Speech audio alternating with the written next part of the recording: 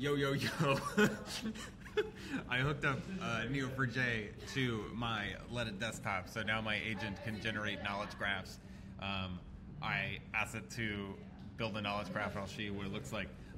Let's see what it does. It's gonna start calling tools here.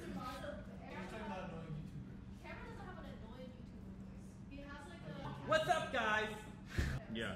Bro, I'm doing a YouTube video right now. Okay, now you can see executing queries right here. Okay, six. So let's go back and well, let's look at the graph database. I'm just gonna pull everything in and look, here it is. This is a Letta agent building a knowledge graph of how it thinks it works. And then you can see it has this, I don't even know what that is. That's a workflow.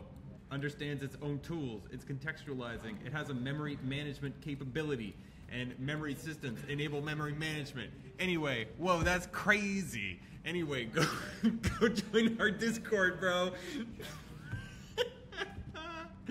okay, I'm turning this shit off.